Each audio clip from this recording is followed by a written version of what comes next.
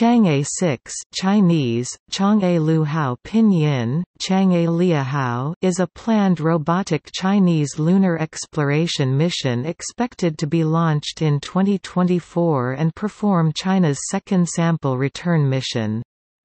Like its predecessors, the spacecraft is named after the Chinese moon goddess Chang'e.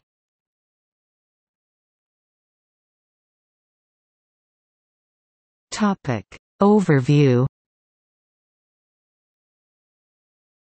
The Chinese lunar exploration program is designed to be conducted in three phases of incremental technological advancement. The first is simply reaching lunar orbit, a task completed by Chang'e 1 in 2007 and Chang'e 2 in 2010.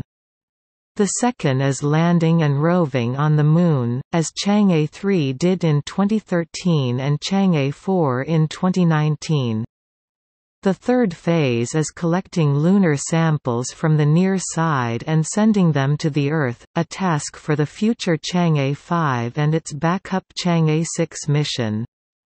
The program aims to facilitate a crewed lunar landing in the 2030s and possibly build an outpost near the lunar south pole.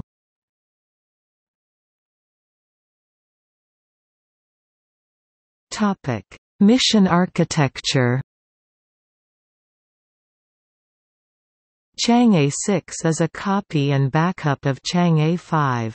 The mission is reported to consist of four modules. The lander will collect about 2 kilograms (4.4 pounds) of samples from 2 meters (6.6 feet) below the surface and place them in an attached ascent vehicle to be launched into lunar orbit. The ascent vehicle will then make an automatic rendezvous and docking with an orbiter that will transfer the samples into a sample return capsule for their delivery to Earth. The estimated launch mass is 3780 kilograms, 8330 pounds. The lander is projected to be 1200 kilograms, 2600 pounds, and the ascent vehicle is about 120 kilograms, 260 pounds. In October 2018, Chinese officials announced that they will call for international partners to propose an additional payload up to 10 kilograms, 22 pounds to be included in this mission.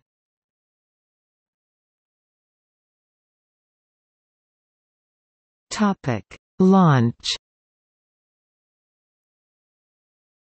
The probe will be launched by a Long March 5 rocket in 2024 from the Wenchang Satellite Launch Center on Hainan Island.